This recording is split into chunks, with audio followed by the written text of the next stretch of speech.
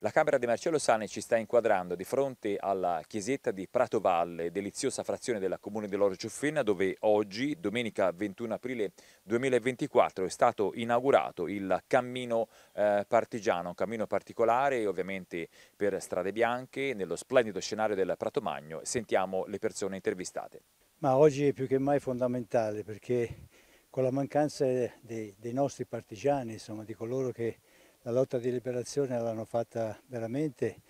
Ovviamente è importante creare queste, questi momenti di, diciamo, di incontro, no? di, di, di, toccare con mano quelli che sono stati i punti dove i partigiani hanno avuto l'occasione comunque di, passare quei mesi terribili del 1944 e anche di morire no? fra questi monti. Quindi, eh, è fondamentale davvero che noi creiamo queste situazioni, questi percorsi perché i ragazzi, le scuole possano partecipare, vedere no? e in questi momenti eh, avere anche eh, una formazione adeguata su quello che è stata la lotta di liberazione, che ce ne stiamo dimenticando quindi è importante che facciamo nostro ancora di più di quello che abbiamo fatto in passato, questa, questa situazione, questa realtà no? che, che ci costringe a, ad essere sempre più in contatto con le istituzioni e pretendere che l'educazione della lotta di liberazione vada veramente nelle scuole e tocchi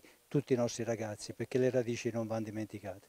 Abbiamo voluto fare questa cosa mettendoci anche la frase di Calamandrei, quella famosa che dice che se vogliamo parlare della Costituzione dobbiamo portare le persone a vedere dove è morto un partigiano, dove è stato impiccato e questo percorso idealmente eh, mette insieme tre partigiani che forse nemmeno si sono conosciuti, però idealmente che hanno contribuito alla nascita della democrazia italiana.